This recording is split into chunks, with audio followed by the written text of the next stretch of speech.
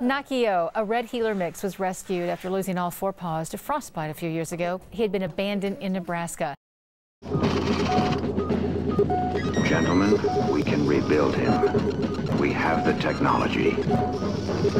We have the capability to make the world's first bionic dog. Naki'o will be that dog. Better than he was before. Stronger, faster.